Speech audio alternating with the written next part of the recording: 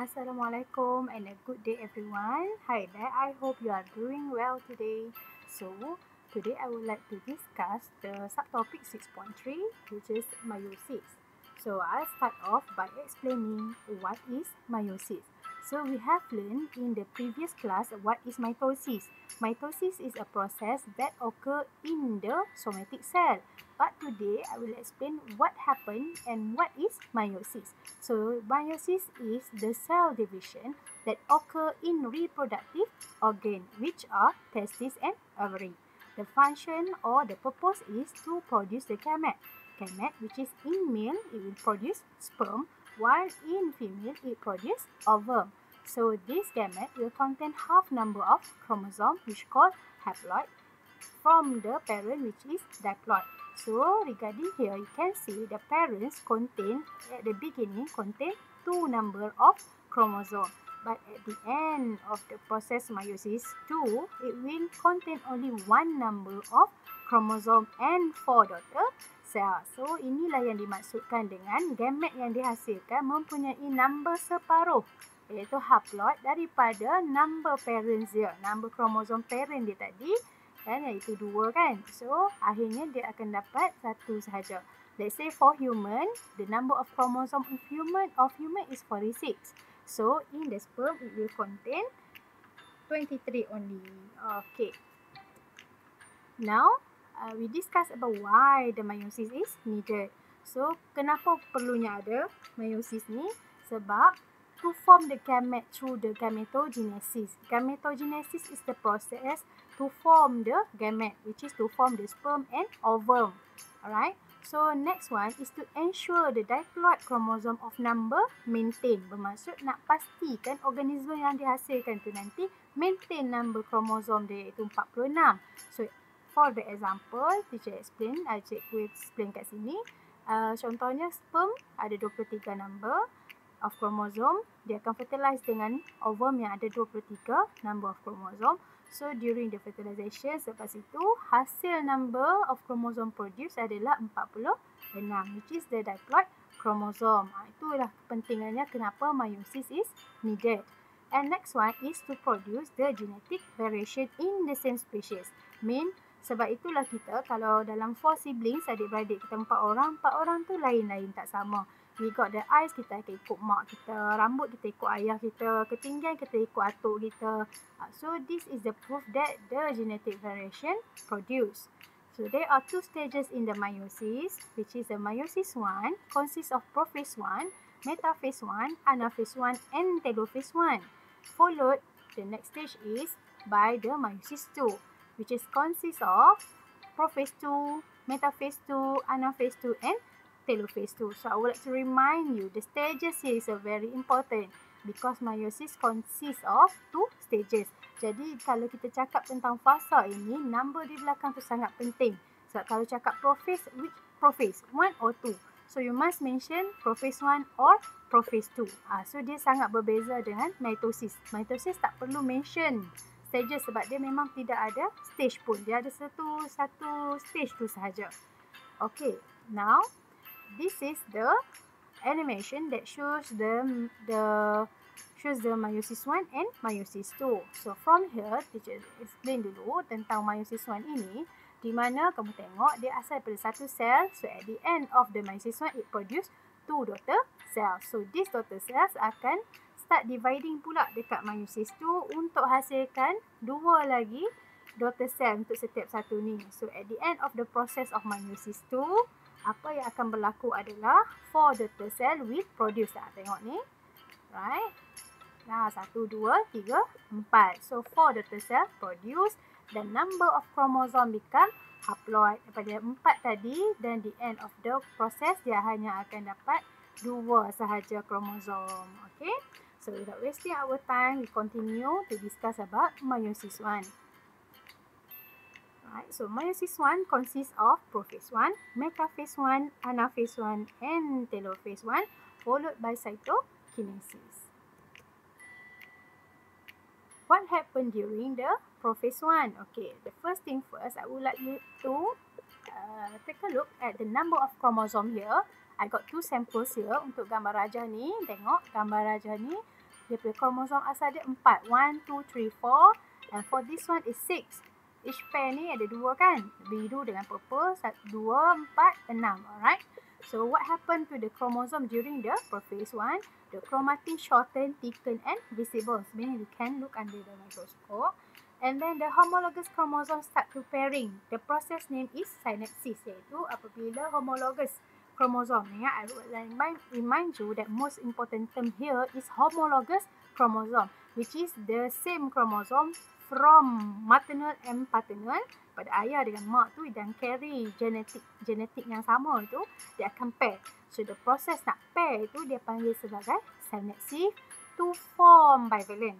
Bivalent ni apabila kedudukan the homologous chromosome tu tadi uh, dua macam ni kan bi dua warna purple satu warna biru tu bivalent tetrad pula adalah four chromatic for each homologous chromosome okey sebab satu kromosom ni terdiri daripada kromatik sister kromatik kan? So ada satu dua tiga empat. So itu yang dimaksud dengan tetrad. Crossing over, which is the process of exchange genetic material, will occur here in the prophase 1 to produce a number of chromosome that contain combination gene. Okay, di mana kamu tengok dekat sini, ada warna purple dengan blue. Ha, so, dekat sini berlaku crossing over process. Di mana genetic material daripada biru akan bertukar dengan purple, yang purple akan pergi dekat bahagian biru. So, ini yang dipanggil sebagai proses crossing over pindah silang berlaku untuk berlaku pertukaran DNA, genetic information. Baik, seterusnya adalah chiasma. What is chiasma? Which is the point that chromatic cross over. Di mana titik persilangan antara homologous kromosom tadi dan untuk melakukan proses pindah silang namanya adalah chiasma. So, kalau tengok gambar raja dekat atas ni, so this is the chiasma boleh tak kiasma ni wujud lebih daripada satu dalam satu-satu homologous kromosom? Yes, can. Jadi lagi banyak bersilang, lagi banyaklah berlaku percampuran genetic information dekat situ. Okay, now the nucleus, the membrane start to disappear, nucleoli start to disappear, central move to the opposite poles, the spindle fiber form and uh, start to attach to the centromere. Okay, next phase is the metaphase 1. The homologous chromosome arranged in the equatorial plane. Dah mula align dekat bahagian tengah tu ataupun metaphase plane. Plate kan? Okay, now sister chromatic type together. Dia akan duduk dekat tengah ni. Dia duduk sama-sama. And the centromere not separated. Nah, centromere tak terpisah seperti dalam mitosis. Dan penting di sini adalah I would like to remind you the terms of homologous chromosome. Kalau kamu jawab dalam exam nanti, kromosom saja salah sebab at this condition, at this phase, uh, the behavior of the chromosome in the form of homologous chromosome. Maksudnya, kedudukan ataupun perlakuan kromosom ini dia di dalam bentuk homologous chromosome. Okay, next one is anaphase 1. Now, the spindle fibers start to contract. You can see the structure here based on the animation above the homologous chromosomes start to separate and pull to the opposite poles. Ah, ini beza dia dengan um, anaphase dalam mitosis. Kalau dalam mitosis, dia start separate dekat centromere. Tapi dekat anaphase 1 ini, dia tarik keseluruhan kromosom tu tadi. So, each chromosome tied at the centromere move as a one unit. Dia tarik empat-empat lengan tu. Kan? Ha. Okay. Next stage is telophase 1. Okay. The chromosome will arrive at the opposite pole dah sampai dah dekat kutub dalam berlawanan tu. The polar cell contain haploid number of chromosome. So you see now the number of chromosome here. Tadi asalnya 6 untuk yang figure atas ni sekarang dah jadi 3. So, game, so same goes to here. Asalnya 4 sekarang dah jadi 2. So dah become haploid number of chromosome. At the ends of the telophase, the spindle fiber disappear, nucleoli reappear, nuclear membrane form. Sebab apa form baru? Sebab dia akan terpisah cytokinesis kan? Okay, so it will followed by the cytokinesis uh, will uh, occur then, which is at the end of telophase 1, daughter, uh, the two daughter cells will produce dalam keadaan haploid condition. Next, dia akan follow dengan interface. Alright, cuma pada fasa ini, the short dan juga DNA not replicate. Now, we continue to the meiosis 2. The meiosis 2 will start when the nucleoli disappear, the nuclear membrane disappear, chromosome in the form of sister chromatid join at the centromere, and the spindle fiber starts to form. Ha, tengok sekarang cikgu dah tak gunakan istilah homologous chromosome sebab perlakuan kromosom kat sini bukan dalam bentuk homologous dah. Dia dah wujud dalam bentuk yang sama size tadi kan. So kita kena sebut dia sebagai sister chromatid. Okay. Next is metaphase 2. The chromosome, the sister chromatid will arrange randomly at the equatorial plane. Right? So the chromatid that join or, or tied to the spindle fibers and uh, at the centromere. So after that, the centromere will separate. So itulah pengakhiran metaphase tu. Okay, starting pada sini dia dah mula sama macam mitosis punya proses. This is anaphase.